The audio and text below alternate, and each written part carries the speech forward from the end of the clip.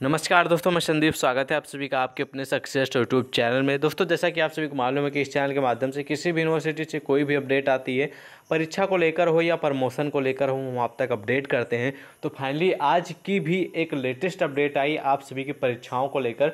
तो आपको पूरी जानकारी के लिए वीडियो को लास्ट तक ज़रूर देखना होगा। चलिए, बिना देरी के हम बात करते हैं कौन सी अपडेट है और कौन सी यूनिवर्सिटी से और क्या अपडेट है।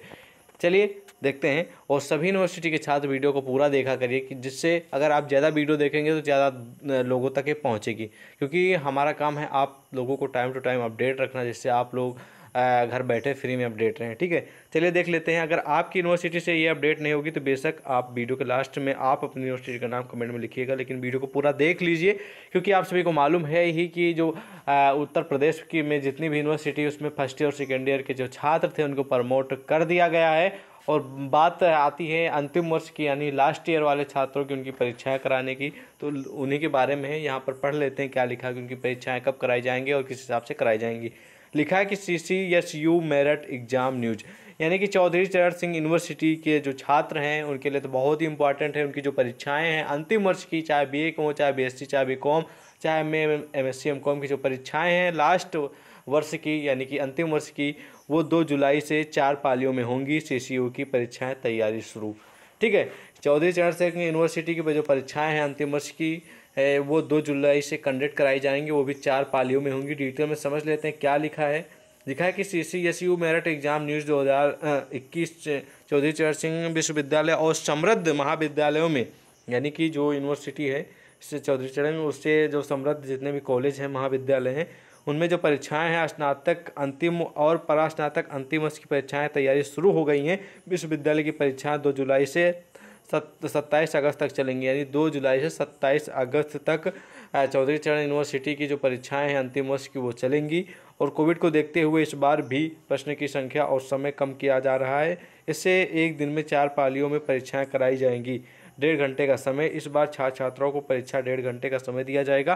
प्रश्न पत्र में प्रश्नों की संख्या भी आधी रहेगी, वहीं इस बार प्रायोगिक परीक्षा नहीं होंगी। लिखित परीक्षा के अंक के आधार पर प्रायोगिक परीक्षा भी, में भी अंक दिए जाएँगे, मौखिक परीक्षा कराई जाएँगी। इसे कॉलेज ऑनलाइन भी कर सकेंगे। ठीक है या फिर करा सकेंगे। लिखा है कि विश्वविद्यालय स्नातक दूसरे वर्ष की भी परीक्षा कराएगा। विश्वविद्यालय ने जो परीक्षा कार्यक्रम बनाया है, उस पर पंद्रह जून को होने वाली परीक्षा समझ की मोहर लगनी बाकी है। ठीक है? और लिखा है कि यहाँ पर परीक्षा का या होगा समय सात बजे से साढ़े आठ बजे तक और साढ़े नौ बजे से ग्यारह बजे तक, बारह से साढ़े एक और यानी कि डेढ़ और ढाई बजे से चार बजे तक, यानी चार पालियों परीक्षाएँ कराई जाएँगी। मूल्यांकन की तैयारी, विश्वविद्यालय की विषम सेमेस्टर की परीक्षाएँ पहले हुई थी, उसका मूल्यांकन प्रक्रिया रुकी हुई है। जब, अब जब कॉलेज में ग्रीष्मकालीन छुट्टी हो गई है, वैसे में विश्वविद्यालय मूल्यांकन की तैयारी में भी जुट गया है। ग्रीष्मकालीन छुट्टी को देखते हुए रेगुलर शिक्षक मूल्यांकन में कम आ सकते हैं। ऐसे में सेल्फ फाइनेंस कॉलेजों के शिक्षक लगाए जा सकते हैं।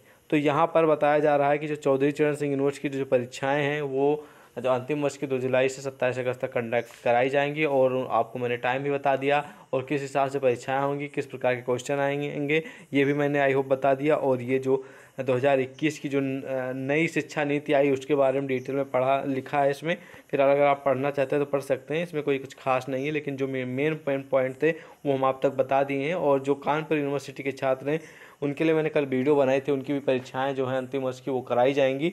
तो अगर उस यूनिवर्सिटी के छात्र हैं कानपुर तो आप वीडियो, पिछली वीडियो को आप लोग देख सकते हैं, ठीक है?